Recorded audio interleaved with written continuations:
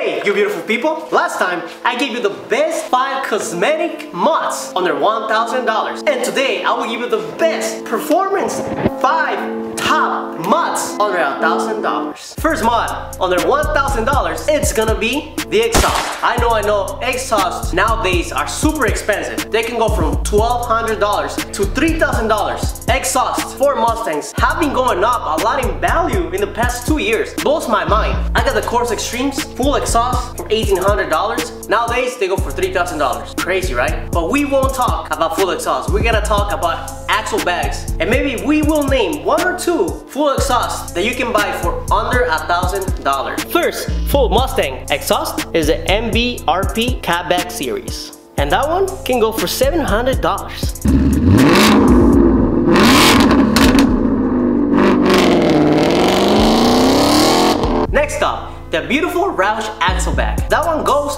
for $820 to $900. Still under $1,000. But remember, it's just an axle-back. It's not a catback or a full exhaust, so which basically the same. But it will give you the beautiful sound that your Mustang needs. Cause having a stock Mustang with a stock exhaust, miss me with that shit.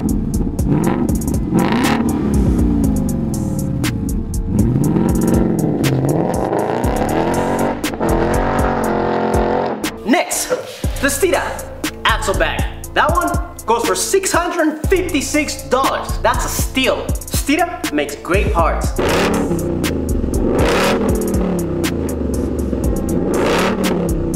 I can give you a list of all the axle-backs that you can buy, but I just gave you the best ones. And don't forget about Kooks axle bags, because Kooks makes some really nice exhausts as well. On to the next one.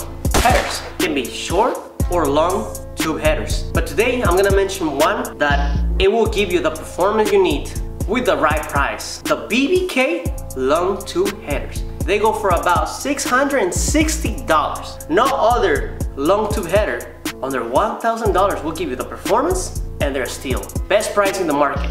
Let me give you another brand that is as good as BBK with an amazing price. And that's gonna be JBA long tube headers. They've been in the business for a long time, so they know what they're doing. JBA will give you what you need for your Mustang, and the price is ridiculous. Ridiculous. the price for some JBA long tube headers are about $716, but the price can vary. Next, affordable mod is a JLT intake. There is no excuse to have it this dirty, so I cut, cut. But JLT is one of the best intakes you can buy on the market. I bought mine on American Muscle for about $270, I believe. And it will give you some performance.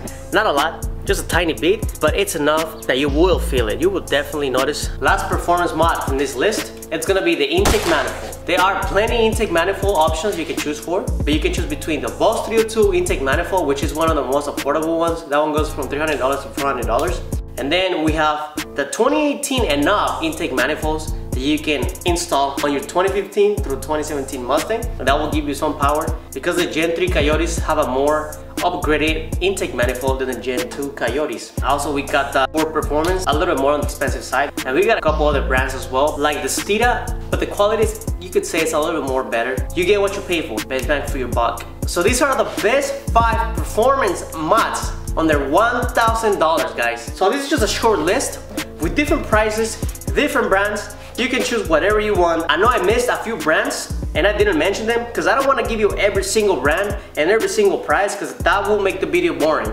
But you guys can do your research. I just gave you a stepping stone so you can look into those brands, look into these prices, match the prices, see which one is better for your Mustang depending on the specific year or the horsepower limit you're trying to reach. And yeah, I hope you guys like this video. If you guys want to see more Mustang videos, I will leave some playlists or some videos somewhere over here. And if you guys want to see a badass Corvette series, you guys can hit one of these little squares somewhere over here. Thank you guys, and God bless you.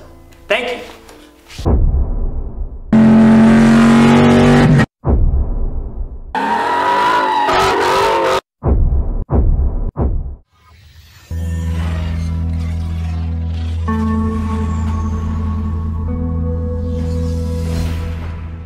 Till next time, my glizzy gobblers.